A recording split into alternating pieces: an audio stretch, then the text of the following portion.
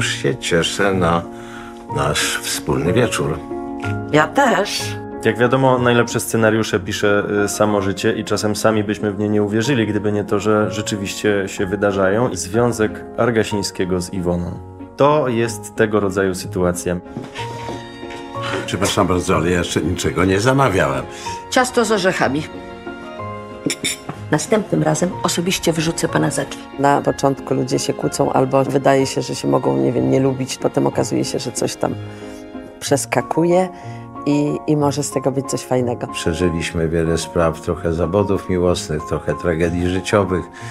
Ktoś nas oszukał, ktoś nas zostawił, kogoś zostawiliśmy. Na pewno y, życie daje nam się wyznaki, ale y, stajemy się na pewno mądrzejsi. Pozwoli pani, że będziemy mówili do siebie po imieniu Jerzy.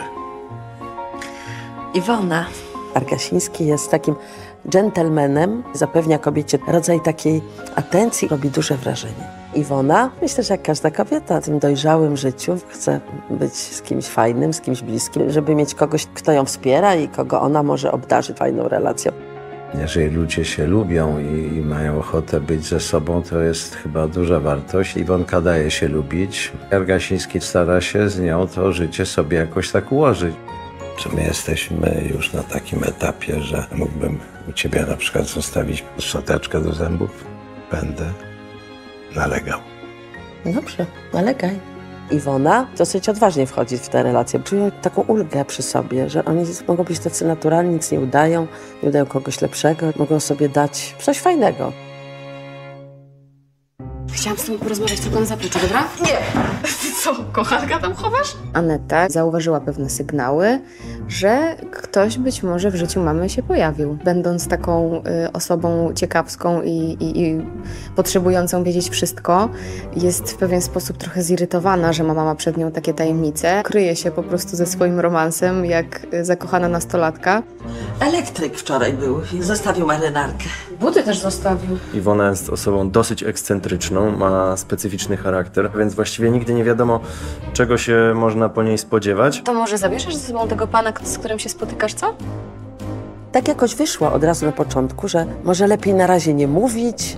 Aneta, która jest temperamentna, pewnie by nie chciała, żeby matka wchodziła w jakieś takie bliższe relacje z jej szefem. Jakieś takie to w ogóle zwariowane trochę. I co mam powiedzieć Anecie?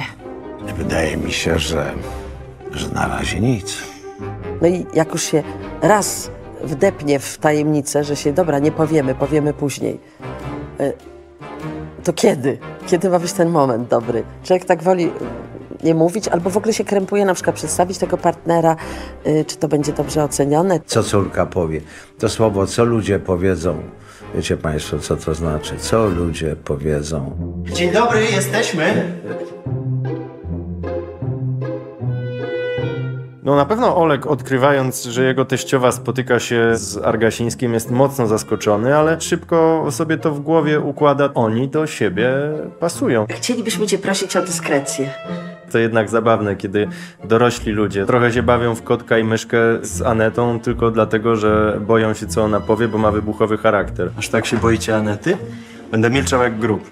Ten sam, do którego mnie wrzuci, jak się dowie, że was kryłem. Czasem w życiu robimy z igły widły. Czy to będzie problem dla Anety? No to tego dopiero się dowiemy. Czy pan już poznał moją mamę? Y, Dzień dobry. dzień dobry.